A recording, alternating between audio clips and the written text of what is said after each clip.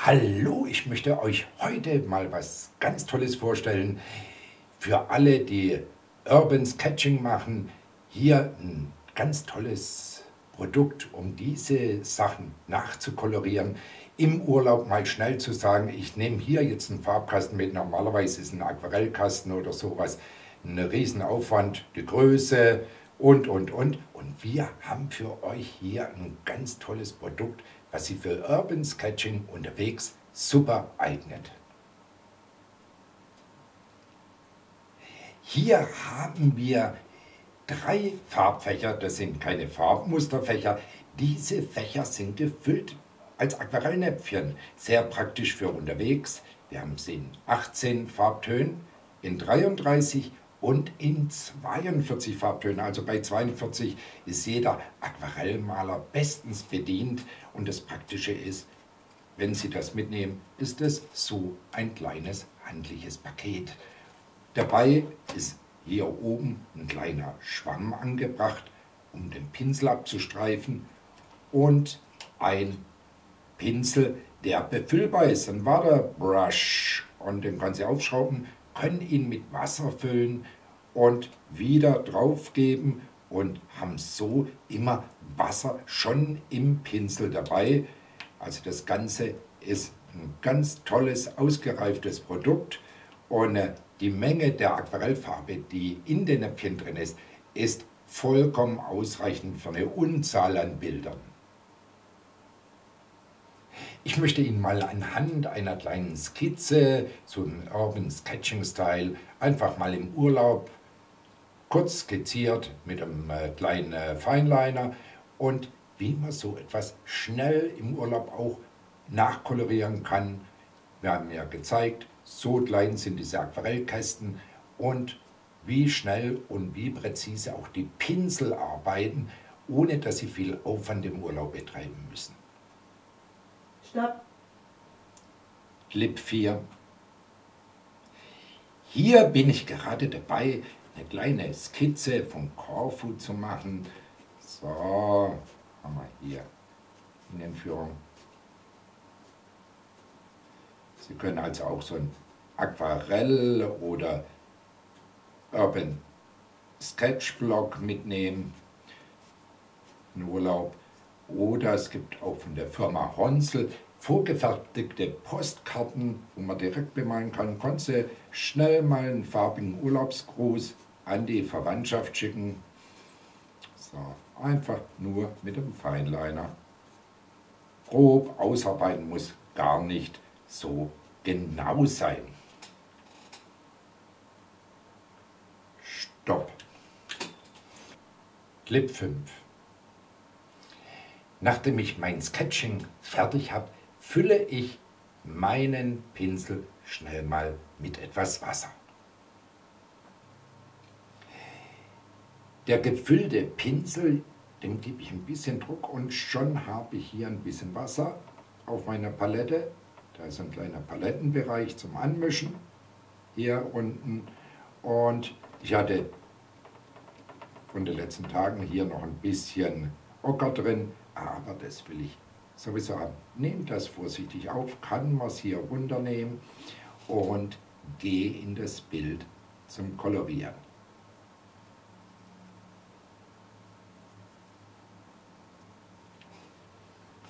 Kann also hier sehr schnell zum Ergebnis kommen und das Bild nicht ganz zumalen, Teile kolorieren, ist für Urban Sketching das Typische, dass man nicht alles zumalt. Schattenseiten ein bisschen beachten. Ich arbeite hier auf dem Urban Sketching Blog von der Firma Honsel und das ist also wirklich grandios. Der ist sehr wasserverträglich, was viele Zeichenpapiere und so sonst gar nicht haben hier noch ein bisschen aus und arbeite erstmal alle Mauerbereiche in mein Bild. Sie sehen, wie fein der Pinsel arbeitet. Ich war am Anfang ein bisschen skeptisch, aber er ist wirklich hochpräzise. Das ist sehr schön, wenn man so kleine Details noch reinbringen will. feine Linien. Man muss nicht 50 Pinsel mitnehmen, um ein tolles Bild zu malen. Das lässt sich hier ganz leicht bewerkstelligen mit diesem kleinen Pinsel.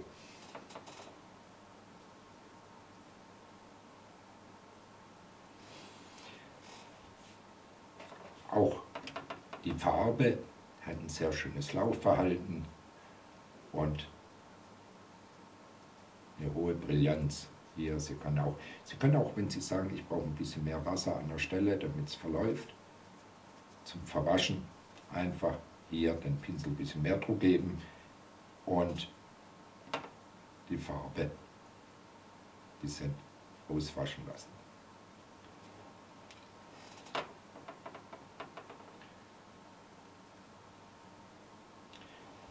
Stopp. Clip 7. Nachdem ich mit Ocker und Brauntönen hier ein bisschen die Wände ausgearbeitet habe, gehe ich hier hin und schaffe mir schon mal ein bisschen Tiefe. So kann man hier an diesen dieser Markise ein bisschen Schatten drunter geben. Und das Schöne ist, wenn Sie den Pinsel auswaschen wollen, kann Sie hier auf den Schwamm gehen, drücken den Pinsel ein bisschen zusammen und der Schwamm saugt Ihnen die Farbe raus und Sie können gerade mit dem nächsten Farbton weiterarbeiten.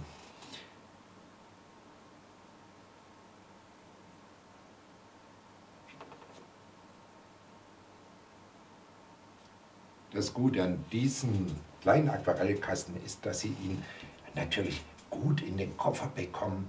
Sie haben nicht das Problem, hier was Sperriges dabei zu haben. Und wenn Sie fertig sind, gehen Sie einfach hin und klappen ihn wieder zusammen und packen ihn wieder zurück.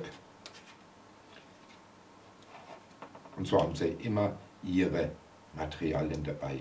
Jetzt wechsle ich mal auf ein bisschen Grün. Ich möchte hier ein paar Zypressen stehen haben wieder erstmal mit dem Hellgrünton ran, dass da einfach nur so locker drüber spielt. Nicht anfangen alles zuzumalen, spielen Sie nur mit Licht und Schatten und dann wird sowas richtig schön lebendig. Viele machen den Fehler und meine Aquarelle ist vergleichbar mit Deckfarben. Das sind zwei himmelweite Unterschiede. Ich brauche jetzt einen Blauton. So, gucke ich mal. Hier habe ich einen sehr schönen Blauton, einen hellen. So, hole ich mir hier schnell ein bisschen raus. Ein schönes Kobaltblau. So, da oben in die Fensterläden bisschen Kobaltblau bringen. Typisch für Griechenland, diese Blautönung.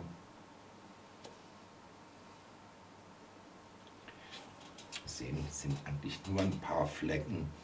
So, wasche schnell mal den Pinsel aus, hol mir ein bisschen Orange.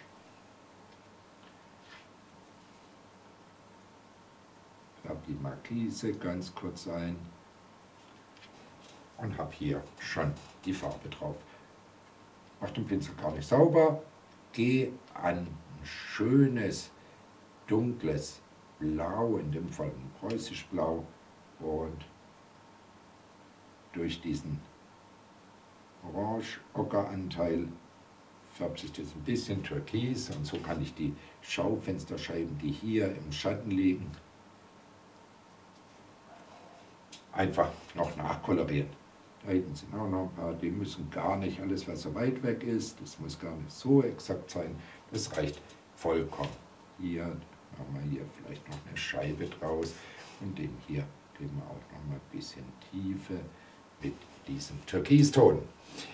Jetzt haben wir nur noch die Menschen zu machen, die hier im Vordergrund stehen.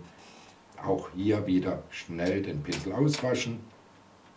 Sehen das überschüssige Abstreifen an diesem kleinen Schwämmchen.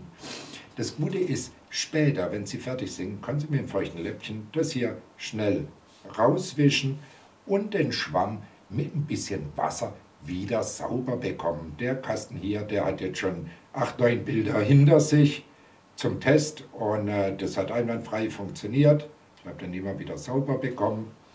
Auch hier hinten schnell das Dach, da noch ein bisschen was drauf, dass das Dach hier hinten nur angedeutet ist. Jetzt gehen wir an die Menschen, habe ich ja gesagt. Schnell mal hier sauber machen. Ja.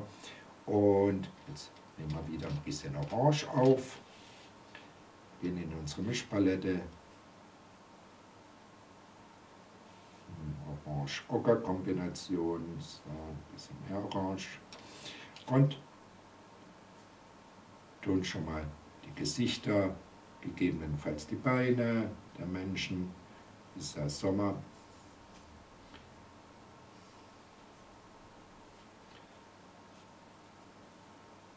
Einfach nur ganz grob einfärben. So.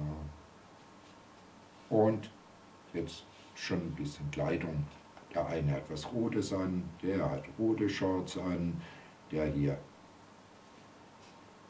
das. Also da kann man jetzt richtig spielen. Haben wir jetzt die Mischung aus ein bisschen Gelb und Orange. Sie sehen, ich mache nur so ein paar Striche runter und dadurch erscheint er schon im Shirt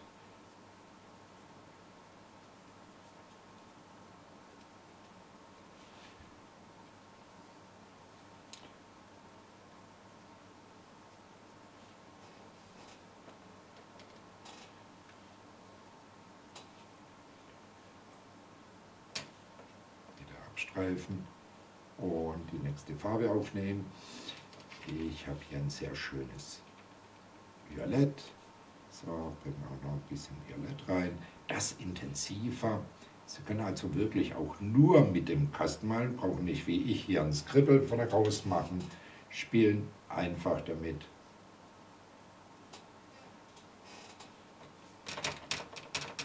Schön ist, jetzt habe ich hier so einen dreckigen Ton durchs Auswaschen, mit dem kann ich auch noch mal ein bisschen hier Konturen reinbringen, dass das alles ein bisschen älter, steiniger aussieht. Manchmal sind diese Töne viel lebendiger. Ziehe mit diesem Ton auch schon mal den Boden runter, ziehe ich zu mir einfach ein paar Linien weg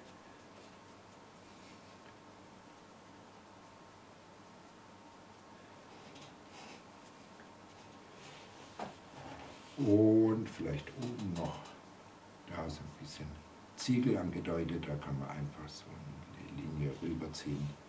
Ein bisschen Orange aufnehmen, intensiver dieses Mal, nicht auswaschen mit Wasser, einfach so eine leicht orangene Linie. So.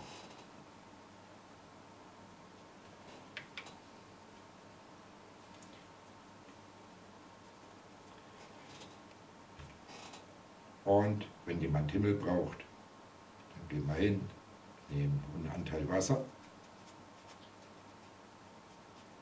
drücken auf den Pinsel, lassen das Wasser aufströmen. Hier auch.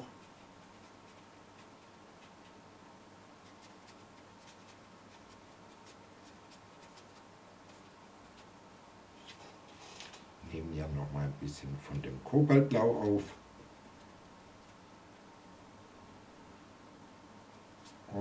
Und lasst es auch noch ein bisschen reinkommen. Mit Wasser verdünnt. Sie sehen, ich habe kein Wasser mitnehmen müssen, um Bild zu malen. Und das Schöne ist, Wasser hat man sowieso bei, im Urlaub meistens dabei im Gepäck. Da reichen ein paar Tröpfchen rein. Und ich habe jetzt hier allein von dem Pinsel nicht mal ein Viertel des, der Wassermenge verbraucht und habe ein komplett fertiges Bild. So toll kann man mit diesen kleinen praktischen Kasten arbeiten. Und das Schöne, der ist also sehr, sehr günstig auf dem Markt zu bekommen. Kommen Sie mal nach. Aquarellfarben im Fächer, Ronsel Art Products und ist der Anbieter von diesem äh, Produkt. Und äh, ich selber bin also wirklich hochzufrieden mit diesem Produkt in der Anwendung. Ich hoffe, es hat Spaß gemacht, einfach mal so leicht und lässig ein Bild zu malen. Das ist also gar nicht so aufwendig und äh, im Urlaub eine tolle Sache mit ins Handgepäck. Das können Sie gar in den Flieger mit reinnehmen.